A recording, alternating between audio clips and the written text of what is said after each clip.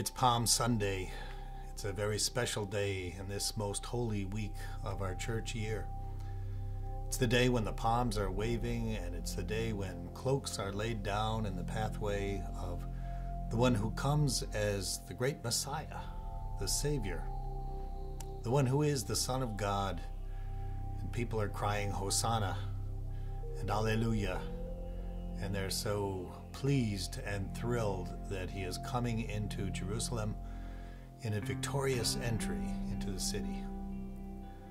And the question becomes for us how could, in the course of one week, all of these cries of Hosanna turn into cries of give us Barabbas and crucify him? What happened to the people of that time? How is it that they lost their passion the disciples losing their uh, will to follow the one who had given such great direction.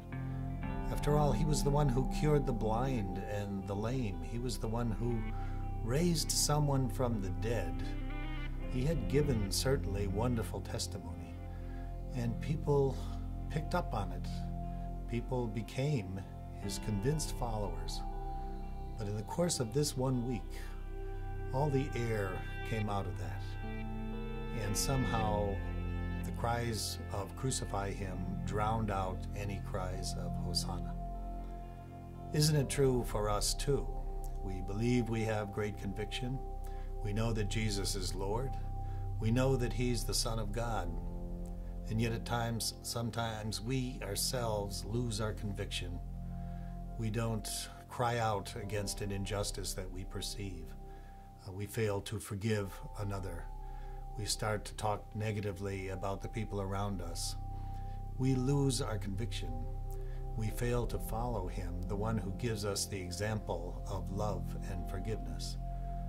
In the course of this week, as we hear again and again the passion, the narrative of Jesus' suffering and death, and eventually the whole story of his resurrection, let us recognize that reality in our own life as well that sometimes our own conviction about following the Lord has all the air come out of it, and in action, uh, we fail to live up to the great words that we speak.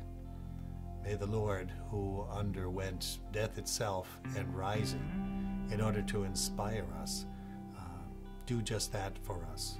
Give us the motive that we need to celebrate not only his passion and death, but his resurrection and ascension, his bringing new life to all of us.